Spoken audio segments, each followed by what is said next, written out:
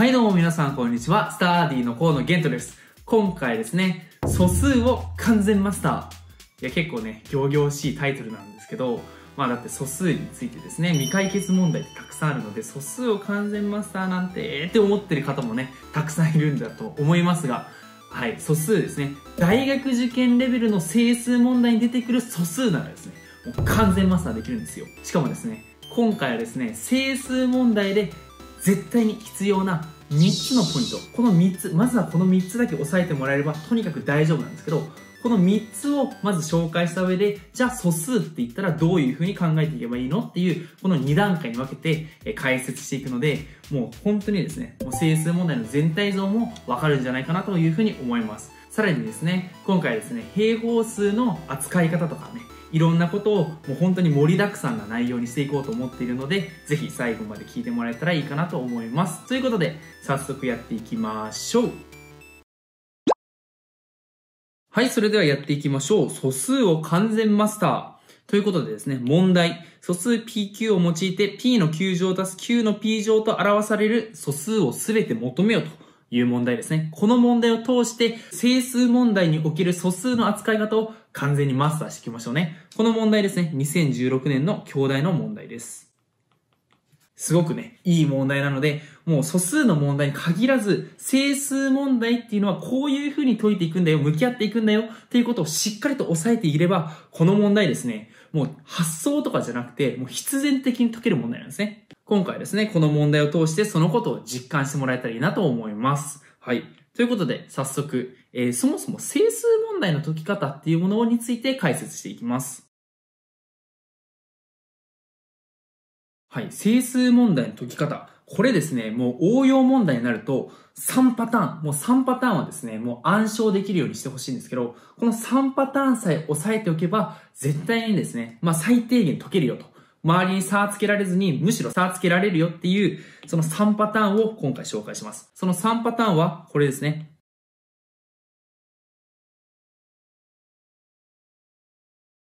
はい。この3パターン。丸1、因数分解で積の形に、丸2、倍数余りを利用する。丸3、不等式評価による絞り込み。この3つを必ず常に頭の片隅に入れてもらえれば、整数問題。まずですね、負けないですね。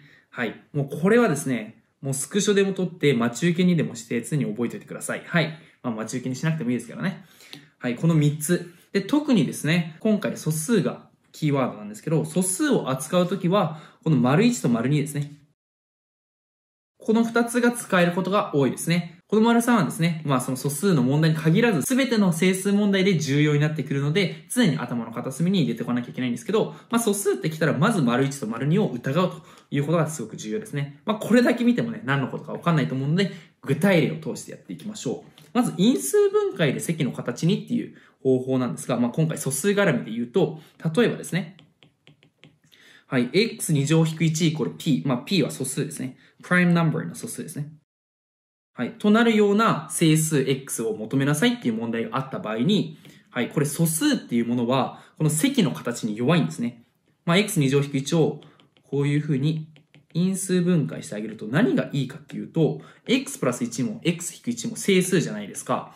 整数と整数を掛け合わせて素数 p になるって言ったら、一気にですね、この x プラス1と x マイナス1の組が絞られるんですね。この問題で言うと、x プラス1が p、x マイナス1が1だったり、p1、1p、マイナス1、マイナス p、マイナス p、マイナス1と。この4パターンに絞られるんですよ。要は5っていうのは、もう 1×5 しかないんですよ。2つの積で表す場合は。6とか、そういう素数じゃない合成数だったら 2×3 とか出てきちゃうけど、p だったらこの4パターンに絞られると。ということで、これを、まあそのそれぞれのパターンについて調べてあげれば、結局ですね、x っていうのが、プラスマイナス2になると。まあ、P が3でね。こういう風になるっていうことが分かりますよと。素数はですね、超強いんですよ。もしこの素数 P が P2 乗になっていれば、まあ、ここ P2 乗1か PP か 1P2 乗かっていう風になっていくわけですね。はい、こんな感じで解けます。これが丸1のパターン。因数分解で積の形に。まあこれはもう品質。別に素数に限らずすごい重要。じゃああとは丸2と丸3なんですけど、まあ丸2と丸3もですね、すべての問題で重要になってくるわけで、じゃあもう早速今回の問題ですね。まあ素数に関係するって言ったら、丸1丸2だけなので、今回の問題に入っていこうと思います。今回の問題、p の9乗プラス9の p 乗が素数。まあじゃあ、p の9乗プラス9の p 乗をイコール素数というふうにしたときに、はい、まずですね、丸1の因数分解の形にして積の形にすると。因数分解して積の形、p の9乗足す9の p 乗。これはダメだなと。丸 1× と。因数分解はできなさそう。まあ、丸に一旦置いといて、次、不等式評価ですね。不等式評価して絞り込む。不等式評価して、うん、なんかこれ不等式評価。まあ、できるのかなまあ、ちょっとまだわからない。いう感じですね。まあ、あと、あと使うかもしれない。じゃあ次。はい、倍数余り。ここでもう一つはね、素数と言ったらっていうところで、倍数と余りに着目すると。これを今回やっていきましょう。はい。なぜ素数っていうものが倍数余りに着目するとうまくいくのかっていうことなんですけど、はい。素数ってですね、まあ当たり前ですけど、1とその数しかその約数に持たない数のことじゃないですか。とするとですね、素数が2の倍数って言われたら、その素数の値って何ですか？はい。もう2で確定するんですね。同じように素数が3の倍数だよっていうことが分かれば、あ、じゃあ3で確定だな。素数が5の倍数だよって言われたら5で確定だなっていうのが全部分かるわけなんですよ。これで、この倍数に着目して何かの倍数だって言えた瞬間にその素数の値が確定するっていう意味で素数とこの倍数っていうのは相性がいいんですね。ということで、素数の問題だとしっかりと倍数に着目していくことが多いんですけど、まあ主にですね、この5の倍数まで着目しておけば、とりあえず大丈夫。まあ、ほとんど3の倍数まででよくて、まあ、ここまででほぼ確定するけど、まあ、問題によっては5の倍数とかチェックすることもあるみたいな感じ。まあ、そういうの程度で大丈夫でしょう。はい。まあ、もう大体ここまででなんとかなると。で、しっかりとですね、まあ、簡単な方から2の倍数、3の倍数、5の倍数っていう順番で考えていきましょう。はい。という目で見てあげると、まあ、p の9乗足す9の p 乗イコール素数、p も9も、これも、この全体も素数と。もう素数だらけだから、うん、まあ、ちょっとね、因数分解もできなさそうだし、倍数に着目したくなるなっていうのはもう自然な流れでしょう。じゃあ、実際に、まずですね、2の倍数で考えてみましょう。もう、こっからはですね、もう一瞬ですよ、一瞬。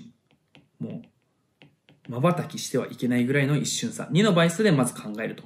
そうすると、まずですね、p の9乗とか q の p 乗っていうのは、まあ、偶数偶数とかいろいろあるじゃないですか。偶数偶数偶数奇数とか、まあ、いろんな場合が考えられる。まあ、p と q が対象なので、その、対象っていうことを考えると、p と q っていうものは、まあ、どっちでもいい。だから偶数奇数と奇数偶数は一緒ですね。まあ、こういう場合があって、偶数足す偶数だったら偶数になるし、偶数足す奇数だったら奇数になるし、奇数足す奇数だったら偶数になると。これはまあ当たり前のことだと思うんですが、はい。あれ？待ってよ。さらに、素数が偶数って、これだったら、もう2で確定しちゃうんですよね。この部分の時点で2で確定しちゃうわけなんですよ。素数が偶数だったらね。素数が偶数で2で確定。ってことは p の9乗足す9の p 乗が2になればいいのかっていうことですね。でもこれってありえなさそうですよね。だって、p の9乗も9の p 乗も2ってことは、全部1か。んでも素数って2以上だしな。素数2以上だったら、あ、ここで不等式評価を使えば証明できるのか。まあ、入り法と一緒ですね。p の9乗足す9の p 乗は2の2乗足す2の2乗以上でイコール8ですね。8以上だから、この時点で素数が8以上。まあ、要は2っていうことはありえないことですね。よろしいでしょうか。ってことは、この場合がありえないということがわかる。つまりこれしかない。もうこれでわかりますよね。うん。p の9乗が偶数。p を9回かけて偶数。もうこの時点で p が偶数っていうことが確定するわけですよ。で、素数が偶数だったらその値は何？これさっきのあれですね。素数が2の倍数だったら2で確定。はい。p が偶数ってことは p イコール2と。こういう感じでいけるわけなんですよ。で、さらにもう一つ分かるのが、まあ、2の倍数に着目した場合に分かることって言ったら、p は2で、かつ p は奇数と。ここまで分かるわけですね。はい、こんな感じでもうですね、2の倍数に着目するだけで片方決まるわけなんですよ。だからもう本当に倍数と素数の相性がすごくいいということが分かりますよね。じゃあ2の倍数っていうのをチェックして、9は奇数ということが分かった。じゃあ次何をすればいいかというと、はい、3の倍数ですね。2の倍数の次3の倍数チェックしてうまくいかないかなってことを考えていけばいいと。じゃあ P に2を代入していきましょう。2の9乗足す9の2乗。これが素数になればいいと。まあ素数。こういう風になればよくて、じゃあ3の倍数に着目してあげるわけなんですけど、はい。2の9乗も9の2乗も、じゃあ、これどうなんだろうなっていうふうに考えていけばいいわけですよね。うん。9の2乗。3の倍数。要は3で割った時の余りについて着目していけばいいと。2の9乗、9の2乗。まあ、2の9乗とかっていうのは、9が1、9が2っていうふうにどんどんどんどん進んでいった時に、2、4、8っていうふうになりますね。これをですね、3で割ってあげるとどうなるかっていうと、2、1、2、1っていうふうになるわけですよ。点点点と。これ3で割った余り。はい。2の9乗っていうのは3で割った余りは2121っていう風になっていくんですね。まあこれはですね、ぶっちゃけ合同式っていうものを使えば当たり前なんですけど、まずこれについてしっかりと考えていく。で、なんなら9っていうのは奇数なわけだから、もう222と2以外ありえないわけですよね。だから2の9乗っていうのは3で割った時の余りは2と。はい。今回ですね、合同式の説明についてはちょっとね、割愛させていただきます。まあその話し始めたら結構長くなってしまうので。また別の機会でお話します。じゃあ次9の2乗について考えてあげると、9の2乗はですね、9の2乗は1、4、9、16っていう風に進んでいくわけじゃないですか。まあ25、36と。これですね、3で割った余りで考えると、110、110の繰り返しなんですね。この繰り返しになってるわけなんですよ。だから、9の2乗っていうのは、3で割った時の余りが1か0と。こういう風になるんですね。はい。じゃあ、3で割った時の余りが2のものと3で割った時の余りが1か0のものを足してあげて、これが素数になるって言ってるんですよ。もうこれでわかりますよね。3で割った時の余りが2で、こっちが3で割った時の余りが1だったら、足したら2たす1で3で割り切れちゃうので、3の倍数になっちゃうんですよ。で、素数で3の倍数って言ったら、3で確定しますよね。でもさっき p の9乗足す9の p 乗8以上だっていう風にやったので、3にはなり得ないんですよ。ということで、3で割った時の余りが2のものと3で割った時の余りが0の場合じゃなきゃいけないなっていうことがわかるわけなんですよ。つまりここですね。110のうち0、0の部分だということが確定するわけなので、あれ？これって、要は9が、これ3の倍数。3とか6とか9とか。9が3の倍数じゃなきゃいけないんだっていうことがわかるわけですよ。9が3の倍数。これが確定するんですね。もうわかりますね。9素数で3の倍数って言ったら9イコール3と。いうふうにわかる。もうこれで確定。じゃあ、それで実際に p の9乗足す9の p 乗が本当に素数になってるのかなっていうことを確認すると、p イコール2、9イコール3の時は、2の3乗足す3の2乗はって言って17と。本当に素数ですね。今ですね、2で割り切れないし、3で割り切れないっていうことが、ここで分かるだけなので、もしかしたら5で割り切れちゃうかもしれないし、7で割り切れちゃうかもしれない。だから、ちゃんとですね、2の3乗と3の2乗が素数であるっていうことを確認した上で、あ、OK だな、というふうに言えて、よって答えを求める素数すべてっていうのは17ですよっていうふうに言えるわけなんですね。よろしいでしょうか？この問題、もう完全にですね、この3つをしっかり押さえていって、この目で常に見ていけば、解けるわけなんですね。もうなんか新しい発想とかないですよね。因数分解積の形できないなっていう、まあできないなだけだし、倍数あまり、とりあえず偶数で考えてみるか、うん、偶数偶数、ああ、素数で偶数って2しかないから、なんかいろいろうまくやると、偶数足す奇数イコール奇数しかないのか。ってことは P は2って確定するな。Q は奇数って確定するな。次、うんと3で考えてみると、えー、っと、2の9乗と9の2乗がそれぞれ3で割った時の余りってこういう風に変わっていくのかっていうふうに考えていくだけで全部解けるわけなんですね。はい。簡単でしょう。まあ、一応ですね、合同式とかを使うともうちょい見通しは良くなるんですけど、最後にですね、まあ素数とちょっとずれるんですけど、2乗ですね。平方数。まあ、平方数の余りでちょっと面白いことですね。まあ、今回は、えー、3で割った時の余りが110と。要は0か1で2が出てこないっていうのがすごくね、ポイントだったんですけど、そういうね、ポイント、もうこれ x2 乗の余りって言ったら、ああ、だいたい3で割ったら、なんかね、110になるんだなっていうのはもう記憶としてあるんですよ。もうね、たくさんやっていく中で、問題演習を積んでいく中でも覚えちゃうみたいな感じなんですけど、それをですね、しっかりと、今回、まとめておくので、3で割った余りっていうと、11ですね。4で割った余りで言うと、1010っていう風になるわけなんですよ。で、5で割った余りとかも出ることは出るんですけど、まあ、8で割った余りとかも出ますね。はい。こんな感じで、割とですね、x2 乗で割った余りを戻取ると、こんな感じですね。3で割った余りで言うと2が出てこないとか、4で割った余りは1か0しかないとか、2も3も出てこないとか、8で割った余りは1か0か4、0、1、4の3パターンしかないとかね。こういうかなり限られたものしか出てこないっていうのが題材になっていることがね、多いんですね。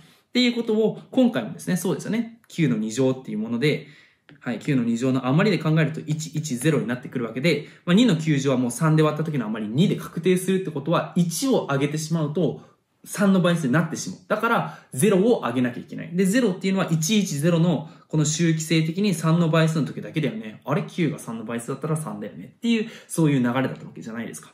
そういう意味で、ここですね。